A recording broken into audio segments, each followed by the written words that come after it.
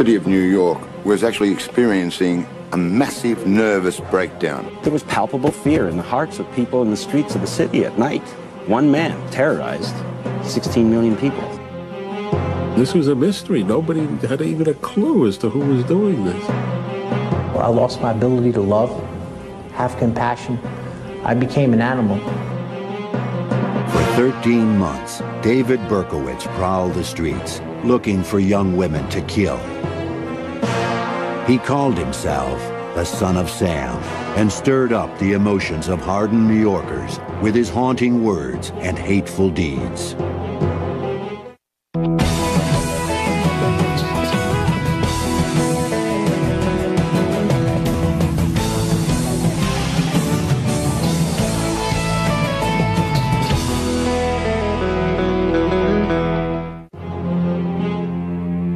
Christmas Eve, 1975, David Berkowitz attacked a 14-year-old girl with a knife. As he tried to stab the girl through her winter coat, she screamed and struggled in his arms. Berkowitz cut himself with the knife. It was so traumatically horrible to him that he vowed that he could never do that again.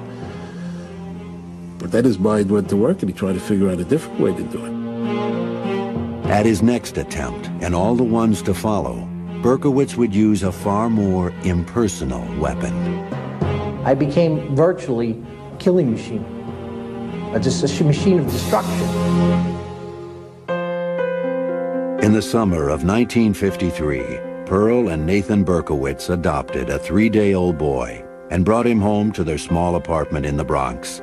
Little David was a blessing because the couple couldn't have children of their own.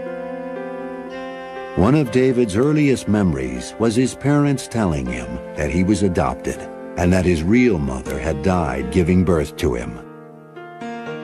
Every time he and his parents would pass the Bronx County Courthouse where the surrogates court is located, they would point to it, tell him that that's where the judge awarded him to them because they loved him more than anybody in the world. Nathan Berkowitz worked six long days a week running a hardware store. Pearl was a homemaker who loved to show off her little boy. While David's childhood seemed normal enough, including Little League and occasional trips to Yankee Stadium with his father, David sensed early on that there was something wrong, something he could not express. My parents had such great hopes for me they tried to raise me as best as I could, you know, and they fed me and clothed me and, and, and gave me love. But uh, uh, there was just something in me that would not respond to that love and pushed it away. I was so self-destructive. When David fought with other boys in the neighborhood, they would taunt him, saying, You're not a real kid. You're adopted. Maybe it's sort of like a Pinocchio sense, you know. He was trying to be this real, live, biological boy and somehow knowing that he was adopted made him feel less than genuine from day one. Worse than the shame he felt over being adopted was his guilt, knowing that his biological mother had died in childbirth. He would lie awake at night, fearing that his father was going to come and murder him in his bed because he had killed his biological mother. David's dark imagination was fueled by the many horror films he watched on television. He suffered from terrible nightmares, but was often too frightened even to speak about them. He would actually get in his closet, uh, cover up with clothes and blankets that may have been in there, and stay there for hours, his family not even knowing where he was, uh, tormented by these uh, nightmares. Berkowitz hated school and would run home as fast as he could to be with his mother, whom he adored. She was only too happy to dote on her only child. David, in turn, secretly poisoned his mother's parakeet to eliminate what he regarded as a rival for her affections. She never suspected her little angel. Despite David's adoration for his mother, he could also be cruel to her. We were talking about his aggression during childhood, and he described it this way I was very vicious, you know, and mean towards her, meaning his adoptive mother, and used to throw things at her and hurl insults at her. When David was 10, his mother took him to see a child psychologist, but it didn't help. David was a secretive child, and no one was allowed into his world. When he was a preteen, you know, 10, 11, 12 years old, he would tell about climbing out the window at night down the fire escape and roamed the streets of New York City. Uh, he said, like an alley cat. The dark city alleys were a stark contrast to the light that David's mother brought into their home. Following Jewish tradition, she lit the Sabbath candles every Friday night. At the age of 13 in 1966, David had his bar mitzvah and read from the Bible in Hebrew. But the burden of his Jewish heritage only exacerbated his deep-rooted feelings of shame. I'm not a proud Jew, he later wrote. Jews are supposed to be honest, law-abiding, and respectful of parents. I am none of these. I am a disgrace. One night, shortly after his bar mitzvah, in a fit of adolescent rage, David said something cruel to his mother that he would have to live with for the rest of his life. She was on her way out to go to dinner, and he screamed at her, I hate you, I hate you, I hope you die. And essentially, that was the last time he saw her alive. Um, unbeknownst to anyone, she was in the advanced stages of breast cancer and collapsed at dinner that evening. The only person he really felt close to in the whole world wasted away in the cancer ward and then died. David cried for days. I was a lot closer to my mom than I was to my dad. My dad, I mean, he had to work all the time, six days a week. It wasn't his fault. And then I really, I had, had trouble, lots of trouble all through my youth, you know, emotional problems and things, mental problems. And uh, when she died, of course, then I lost everything. David's loneliness intensified. He was extremely shy and blushed easily, especially around girls. He would ride his bike for hours, often to his mother's grave. He lingered in the cemetery, fascinated by the tombstones of people who died young. He wondered if the girls had been pretty. My dad used to cry and plead with me to come and talk with him. And, I, and he says, I don't even know you. You're my son. You're like a stranger. That's just the way I was. I don't know why. You know, it was just these blocks that were up where I just didn't want to share nothing that was on my mind, nothing that was on my heart. I was a closed book, and that was that. Because of his chronic truancy, David barely graduated from high school. In 1971, the 18-year-old Berkowitz enlisted in the Army. He was full of patriotic fervor and fantasized about dying a heroic death in Vietnam. Instead, he was shipped to Korea and qualified as a sharpshooter with an M16 rifle. He tried to find a girlfriend among the Korean prostitutes who hung around the base, but he found the effort degrading. David wrote to his father, apologizing for being a burden and amounting to nothing in society. He wrote that he was sorry he turned out the way he did, stupid, hateful, ugly, destructive. Berkowitz begged his father to pretend he never had a son to forget that he even existed. In 1973, as Berkowitz turned 20, the Army transferred him to Fort Knox, Kentucky. Out of his longing for companionship, he became involved with a Baptist church. He attended classes, read dozens of books, and soon was baptized. He was particularly impressed about how families were together on Sundays and when they prayed together. And he wanted this to be part of this group very, very much. All the preaching about evil, sin, and eternal damnation, however, constantly reminded Berkowitz of the bleak future that awaited him in hell. His religious fervor quickly extinguished. Berkowitz was also discovering that the Army was no place for him. After a series of disciplinary problems, he was discharged in 1974 and returned to New York. Eager for a fresh start, he enrolled at Bronx Community College. His father, too, had made a fresh start. Nathan remarried and decided to move to Florida and retire. Berkowitz resented his new stepmother and her daughter for invading his home and taking away his father. The 21-year-old began to feel that there was a mysterious force around him that repelled people. He referred to himself as de Schmutz, Yiddish for dirty one. His world was rapidly shrinking.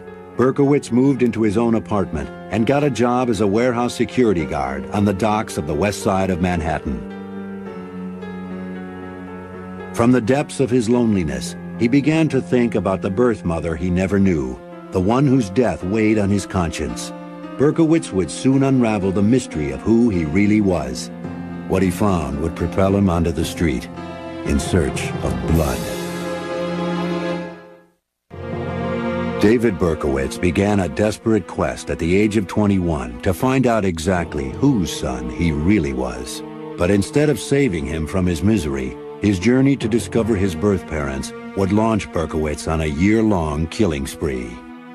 He had gone to one of these freedom of adoption movement meetings and told them the story of how his mother had died giving birth to him, and he had a father out there somewhere, and people laughing at him and said, you know, what are you laughing about? This is a tragedy. You know, my mother died. I said, man, that's what they tell all of us.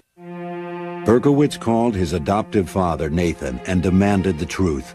Nathan broke the news that David's birth mother was in fact alive. He explained that the adoption experts had advised against revealing the truth. Berkowitz was stunned. In an instant, he was delivered from a lifetime of guilt. He had not caused his mother's death after all. Berkowitz's adoption papers said that his real name was Richard David Falco, and that his parents were Betty and Tony Falco. He searched for them for months, but he kept hitting dead ends. Frustrated and lonely, Berkowitz, who had tried during his army years to find comfort in religion, now joined a cult of Satan worshippers. Berkowitz enjoyed the late-night rituals in the woods, the chanting, the drugs, and the opportunity to meet girls. He connected easily to the dark forces that the group worshipped. He even made a blood pact to serve the devil. I was chanting the names of Lucifer over and over, and I was calling out to him. I said, uh, you know, son of the morning, and, and uh, prince, my prince, my lord, you know, come into my, uh, come into me right now, take control of this vessel. And uh, I felt like I was being emptied of my own personality, and that something else somehow was coming in. The group gave Berkowitz a sense of belonging to a family, and he eagerly accepted their mission. His other mission, to track down his biological parents, was finally accomplished after a year of searching. When he first spoke on the phone with his birth mother, Betty Falco, David's expectations soared. At last, he had found his normalness, his, his, his biology, the reason for his existence. And what he thought would be this glorious moment when he would find his real live mom and they would fall lovingly into each other's arms, turned into one of the moments, if not the moment, of his greatest disappointment. Berkowitz had fantasized about meeting a beautiful woman. What he found was a totally ordinary person, what he described as a nervous and frightened little woman. Betty apologized profusely for abandoning her little Richie. I remember him mimicking her and saying, Oh, Richie, I'm sorry, I'm sorry, in this sort of high, whiny voice, and putting his hands over his ears as he did that to try to shut out the sound that he recalled her making. Berkowitz hid his disappointment and told Betty that he loved her and forgave her because he knew she must have had a good reason for giving him up. Betty revealed to David that Tony Falco wasn't his real father. Betty Falco had secrets too. Betty, a daughter of poor Jewish immigrants, had married Tony as a teenager.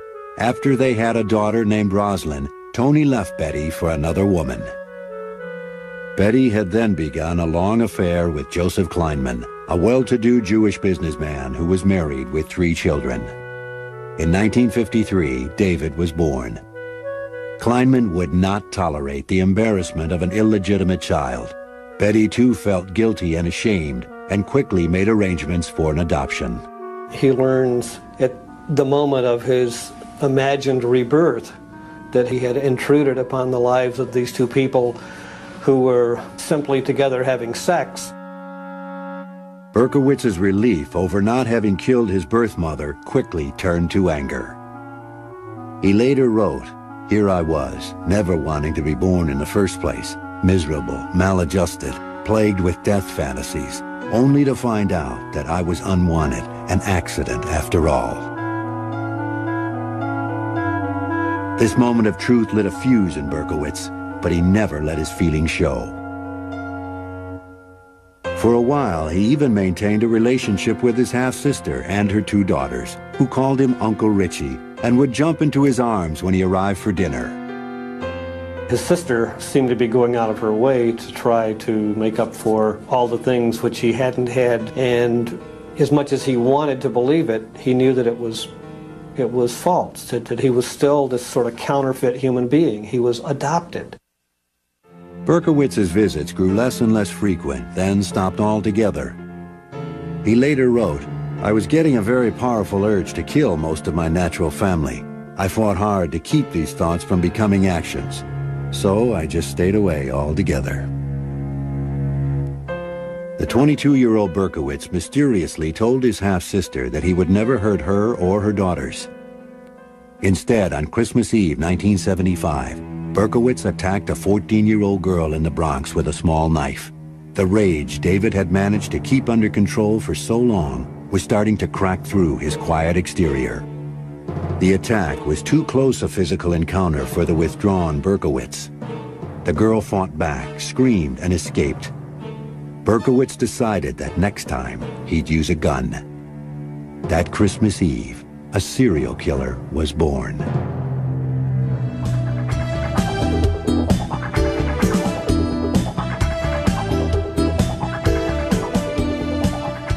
In the bicentennial spring of 1976, Berkowitz was still working as a night watchman, but he complained that he couldn't sleep during the day because of howling dogs belonging to his landlord.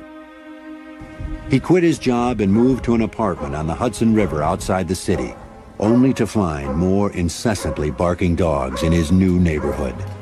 From 1976 to 1977, Berkowitz drove a taxi, worked in the post office, and tried to live with his paranoid feelings. He would often drive to the beach and sleep in his car for a few hours of peace. At the beach, David took long walks trying to sort out his scrambled mind. One day, he made a decision. As he later explained in a letter, I was determined that I must slay a woman for revenge purposes. For all the suffering, mental suffering, they caused me. The 23-year-old Berkowitz paid a brief visit to his adoptive father in Florida. Nathan witnessed his son staring in the mirror, pounding his head with his hands. He tried to get David psychiatric help, but the young man refused, saying no one could help him, that it was too late. When Berkowitz left Florida, his vengeful fantasies grew more concrete. He drove to Houston to visit an old army buddy who innocently helped Berkowitz buy a 44 caliber Bulldog revolver to protect himself, Berkowitz said on the long trip back to New York. Out of the darkness of his rage, the weapon was his final solution. In his tormented mind, the barking of the dogs became unbearable. With his anger and sexual frustrations mounting, it was just a matter of time before Berkowitz would express himself with his gun. The demons inside David Berkowitz were driving him to hunt the dark streets of New York City in search of a woman to kill. Only that would free him from his torment.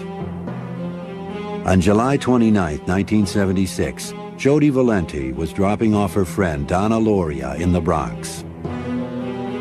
Berkowitz drove by and saw the two girls laughing and talking. He parked his car two blocks away and walked back. Then he circled the car at a distance, like an animal stalking its prey. Jody turned her head and saw Berkowitz's piercing eyes. She said, Who's that? As Donna turned to look, Berkowitz pulled his gun out of a brown paper bag and fired. In the silence that followed, Berkowitz was frozen. Jody pounded the car horn, Berkowitz popped out of his trance and ran. Donna's father burst out of the apartment building screaming for help as he gathered his daughter in his arms. But she was already dead. Jody survived a bullet wound in her thigh and was able to give police a description of the killer. As Berkowitz fled in his 1970 yellow Ford Galaxie, he sang happily to himself. I felt some peace, he later said. While I didn't have a physical sexual orgasm, I certainly had a mental one. After a shooting, it was like I was walking on air. He didn't know if he had killed anyone until he read the New York Post that afternoon. After that, Berkowitz was out every week, cruising neighborhoods that bordered highways. In the fall of 76, he wounded two more young women, as well as a man who he probably mistook for a woman in the darkness. Donna DeMasi was shot in the neck. Joanne Lomino was paralyzed from the waist down and Carl Denaro would end up with a metal plate in his head. Berkowitz was nervous during these first few attacks because he realized he was crossing over the greatest moral divide. I was cognizant of finally being able to pass that point in which a human plays God, he would later confess. I was anxious, excited, and tense. Berkowitz also got excited over the thought of being a hero. He fantasized about rushing into a burning building and saving women and children. Almost every night when he was driving around looking for someone to kill, um, he always had a full emergency pack in the back of his car. At the same time, looking for someone to save. On a frigid night in January 1977, Berkowitz, with his gun in his pocket, cheerfully helped some stranded teenagers push their car out of a snowbank. And yet, later that very same night, Berkowitz crossed paths with Wall Street secretary Christine Freund, who was in a parked car with her boyfriend. She was shot and killed. Her boyfriend was unharmed. Up to this point, police still had no clue that the murders were related. The detective assigned to Freund's case sent the bullets to the ballistics lab for analysis. I walked into the ballistics unit in the police academy I met with George Simmons, and my purpose of going there was to meet him specifically, not his boss, not another ballistics detective, but him, because I had a lot of faith in him. And as I walked in, he said to me, Joe, we have a psycho here. Simmons explained that he had seen the same bullets in three other shootings since July. He was convinced they all came from the same rare kind of pistol, but he couldn't prove it yet. The fifth attack took place on March 8th, five weeks after the murder of Christine Freund and less than 100 yards away in Queens. Virginia Voskerichian, a college student, had come to the U.S. with her family from Bulgaria, and only a year before had been made an American citizen. It was 7.30 in the evening when she was walking home from classes. This guy walks up to her, and she sees the gun in the face and puts her school books in front of her. And he fires through the school books and puts a bullet in her brain. This time, police were able to match the bullets to the first murder. No one could deny that there was a serial killer on the loose. The police dubbed him the 44 caliber killer and braced for him to strike again. Panic seized the city. Women cut their hair short and dyed it blonde because they thought the killer was gunning for long-haired brunettes. I thought about the 44 caliber killer every day since it happened. I go to beauty school up the block, and most of the girls are wearing their hair up because they're afraid of the 44 caliber killer. They wear it up. One thing that I really don't do anymore is sit in parked cars. A month after Virginia was murdered, in April 1977, Berkowitz wrote his neighbor, Sam Carr, a very sober letter saying he would take legal action unless Carr took care of his howling dog. In this letter, Berkowitz revealed his longing for companionship, writing about a wife who didn't exist. He explained that he and his wife tried to take time off to be together. Just the two of us, he wrote, to sleep late, to make love, to read, etc. But the barking and the howling continued, and we had no peace. Berkowitz got no response from Sam Carr. The following week, he was on the hunt again. At 3 a.m. on April 17th, he was headed home when he saw two heads over the seat of a car. This was uh, probably the worst night of my career. Uh, I was in charge of the nighttime detail. And we always felt, in, in investigating homicides, people are creatures of habit. So we always cover the areas where they already hit. Less than four blocks from where Donna Lauria was killed, Berkowitz waited as a patrol car passed by and disappeared. He walked toward the car, dropped a note at the scene, and then fired. Valentina Suriani and Alexander Esau were both shot and killed instantly. The note Berkowitz had dropped at the crime scene was the first solid lead for the police. It said, I am deeply hurt by your calling me a woman hater. I am not, but I am a monster. I am the son of Sam. I love to hunt, he wrote, prowling the streets looking for fair game, tasty meat. I don't want to kill any more, No, sir, no more. But I must honor thy father. I want to make love to the world. I love people. I don't belong on earth. He ended with a warning. Let me haunt you with these words. I'll be back. I'll be back. Berkowitz had raised the stakes and police responded. A task force was formed to coordinate the search for the killer. It was the most extensive manhunt in the history of New York. Somebody came up with the theory that the MO of this particular shooter was exactly the same as a scenario on Starsky and Hutch. We sat and watched every Starsky and Hutch episode. That's how minute we got about this thing. A few days after Valentina and Alexander were murdered, Berkowitz wrote another letter to Sam Carr, saying that his life was destroyed and he had nothing to lose anymore. I can see there shall be no peace in my life until I end yours. A week later, Berkowitz shot and wounded Sam Carr's dog. The New York papers appealed to him to turn himself in. Berkowitz responded with a dark, chilling poem to the Daily News. It read, Hello from the gutters of New York City, which are filled with dog manure, vomit, stale wine, urine, and blood. I am still here, like a spirit roaming the night, thirsty, hungry, seldom stopping to rest, anxious to please Sam. I love my work. Now the void has been filled. On June 26, 1977, Berkowitz staked out a disco in Queens.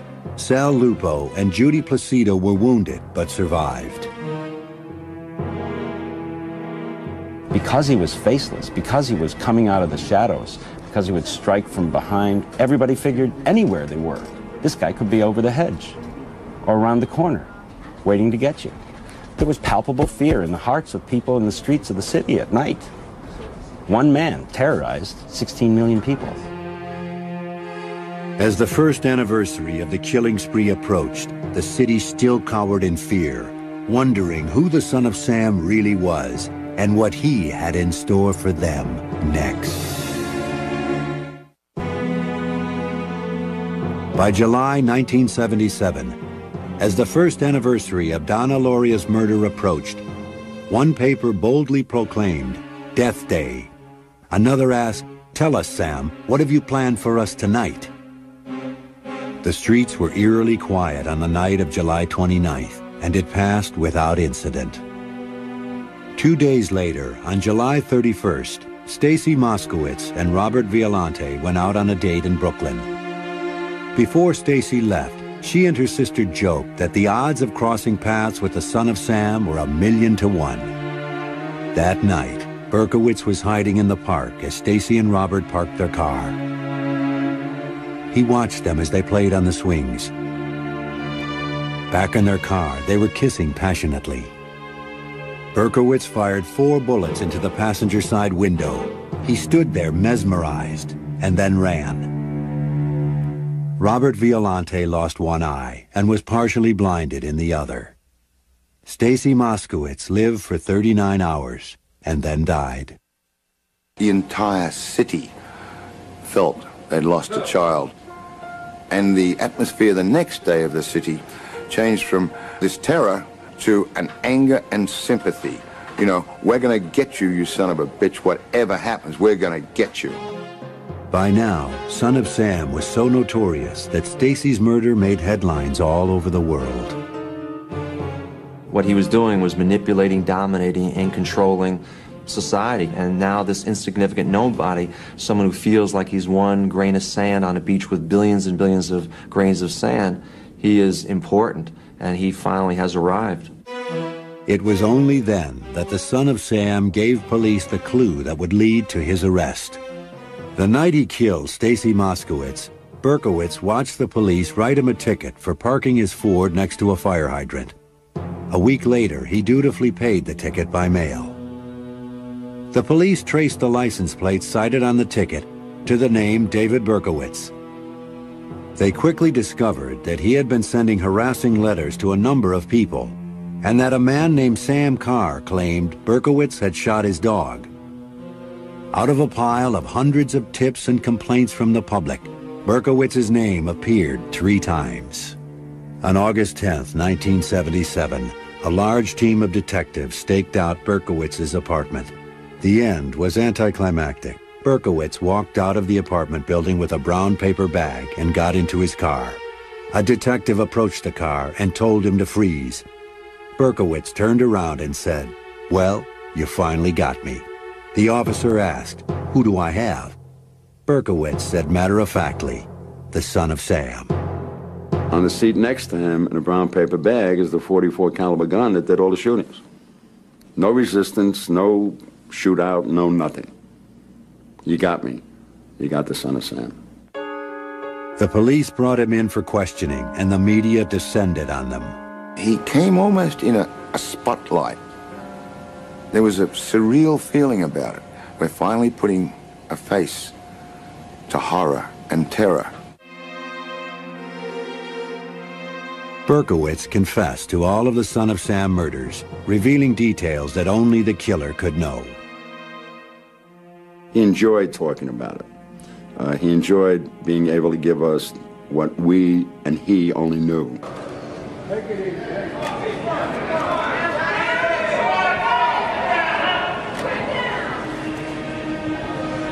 Facing the public for the first time, Berkowitz could not keep from smiling.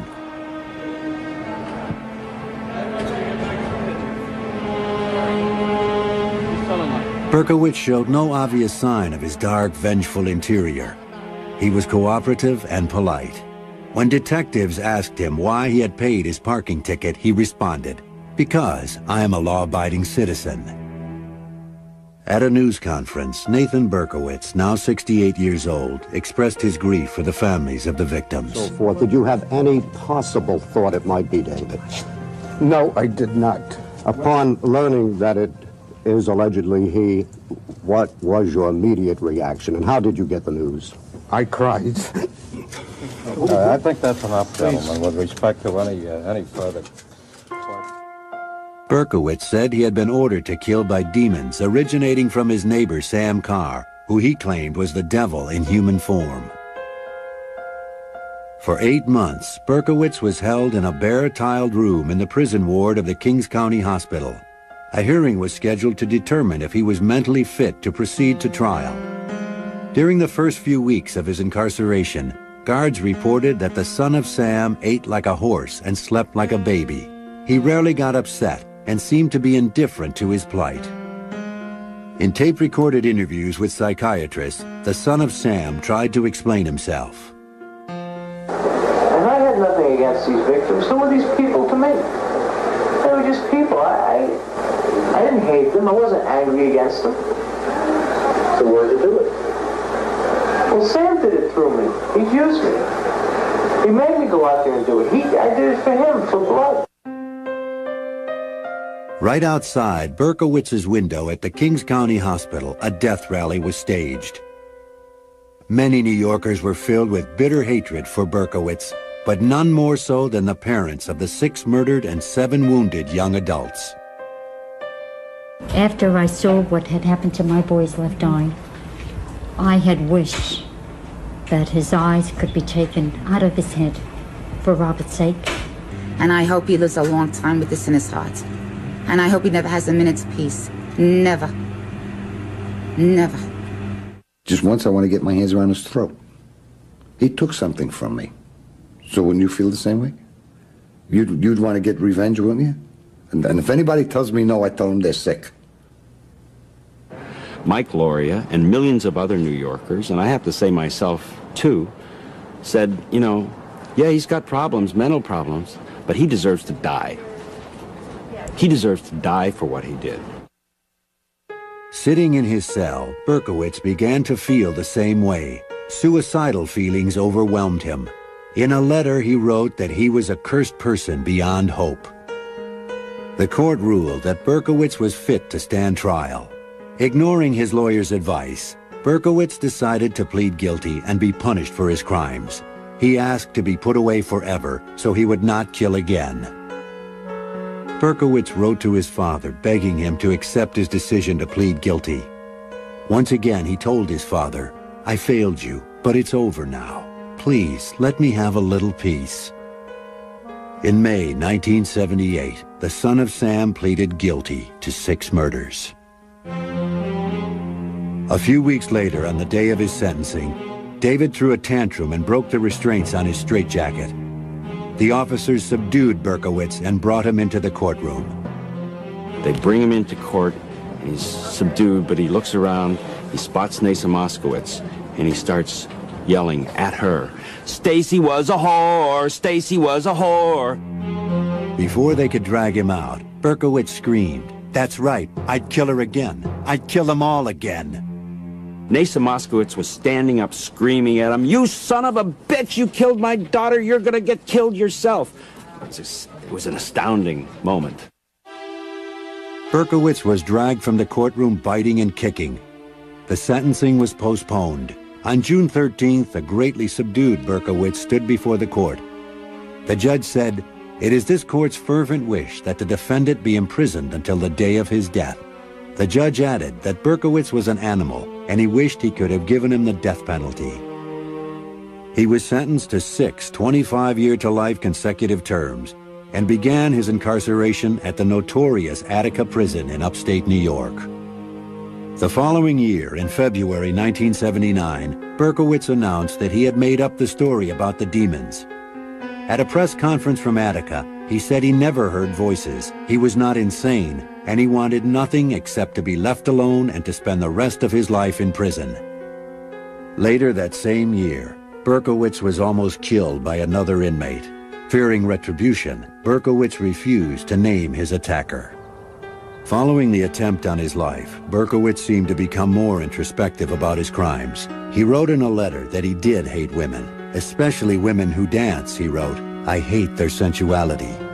Berkowitz told a fellow inmate that he attacked women kissing in cars in order to prevent other illegitimate children from being born to suffer the way he did.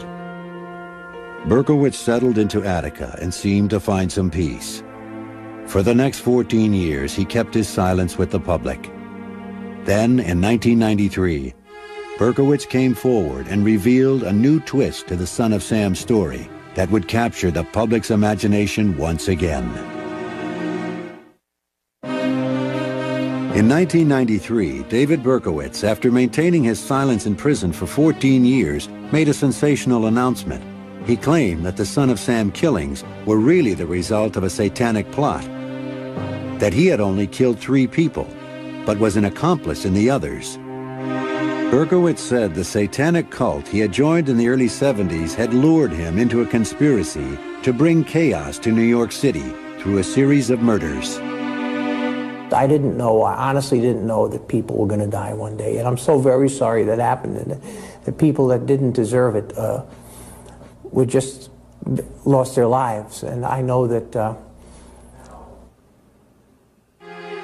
Berkowitz now claims that he pleaded guilty to all the crimes to get out of the cult and to protect his family from their vengeance. Experts who have studied Berkowitz's criminal behavior find the story unbelievable. David Berkowitz is a paranoid individual. He's, he, can, he is not reliable. He is not the type of person that someone else would even want to team up with, nor is he the type of person that wants to share the glory with anyone else. He simply did it on his own. Berkowitz has been living in prison almost as long as he lived on the outside. In 1987, he moved to his present home at the Sullivan Correctional Facility, a super maximum security prison for notorious felons. Prison is a place of, of, of, of oppressive darkness. There's nothing here. Just, just. He would actually get in his closet, uh, cover up with clothes and blankets that may have been in there, and stay there for hours, his family not even knowing where he was, uh, tormented by these uh, nightmares. Berkowitz hated school and would run home as fast as he could to be with his mother, whom he adored. She was only too happy to dote on her only child. David, in turn, secretly poisoned his mother's parakeet to eliminate what he regarded as a rival for her affections. She never suspected her little angel.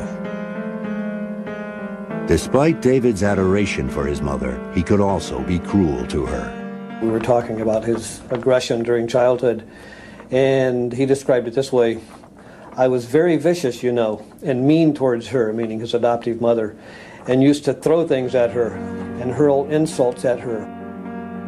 When David was 10, his mother took him to see a child psychologist, but it didn't help. David was a secretive child, and no one was allowed into his world. When he was a preteen, you know, 10, 11, 12 years old, he would tell about climbing out the window at night down the fire escape and roam the streets of New York City. Uh, city of New York was actually experiencing a massive nervous breakdown. There was palpable fear in the hearts of people in the streets of the city at night. One man terrorized 16 million people.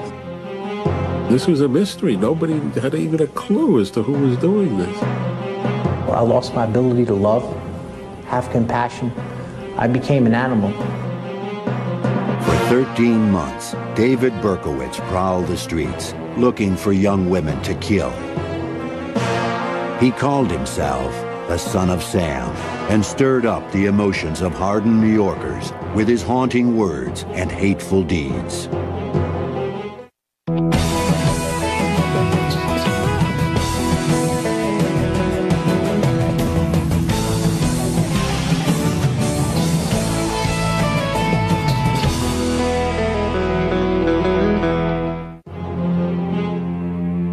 Christmas Eve, 1975, David Berkowitz attacked a 14-year-old girl with a knife. As he tried to stab the girl through her winter coat, she screamed and struggled in his arms. Berkowitz cut himself with the knife. It was so traumatically horrible to him that he vowed that... And occasional trips to Yankee Stadium with his father. David sensed early on that there was something wrong, something he could not express. My parents had such great hopes for me.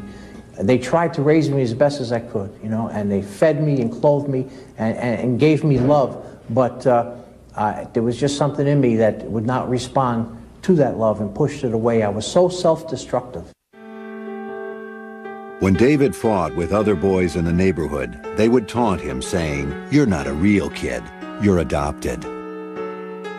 Maybe it's sort of like a Pinocchio cinch, you know, he was trying to be this real, live, biological boy, and somehow knowing that he was adopted made him feel less than genuine from day one. Worse than the shame he felt over being adopted was his guilt, knowing that his biological mother had died in childbirth. He would lie awake at night, fearing that his father was going to come and murder him in his bed because he had killed his biological mother. David's dark imagination was fueled by the many horror films he watched on television. He suffered from terrible nightmares, but was often too frightened even to speak about them. He's like an alley cat. The dark city alleys were a stark contrast to the light that David's mother brought into their home. Following Jewish tradition, she lit the Sabbath candles every Friday night. At the age of 13 in 1966, David had his bar mitzvah and read from the Bible in Hebrew. But the burden of his Jewish heritage only exacerbated his deep-rooted feelings of shame. I'm not a proud Jew, he later wrote. Jews are supposed to be honest, law-abiding, and respectful of parents. I am none of these. I am a disgrace. One night, shortly after his bar mitzvah, in a fit of adolescent rage, David said something cruel to his mother that he would have to live with for the rest of his life. She was on her way out to go to dinner, and he screamed at her, I hate you, I hate you, I hope you die. And essentially, that was the last time he saw her alive. Uh, unbeknownst to anyone, she was in the advanced stages of breast cancer and collapsed at dinner that evening. The only person he really felt close to in the whole world wasted away in the cancer ward and then died. David cried for days. I was a lot closer to my mom than I was to my dad. My He could never do that again. But then his mind went to work and he tried to figure out a different way to do it. At his next attempt, and all the ones to follow, Berkowitz would use a far more impersonal weapon. I became virtually a killing machine, a, a machine of destruction. In the summer of 1953, Pearl and Nathan Berkowitz adopted a three-day-old boy and brought him home to their small apartment in the Bronx. Little David was a blessing because the couple couldn't have children of their own. One of David's earliest memories was his parents telling him that he was adopted and that his real mother had died giving birth to him. Every time he and his parents would pass the Bronx County Courthouse where the surrogates court is located, they would point to it, tell him that that's where the judge awarded him to them because they loved him more than anybody in the world. Nathan Berkowitz worked six long days a week running a hardware store. Pearl was a homemaker who loved to show off her little boy. While David's childhood seemed normal enough, including Little League,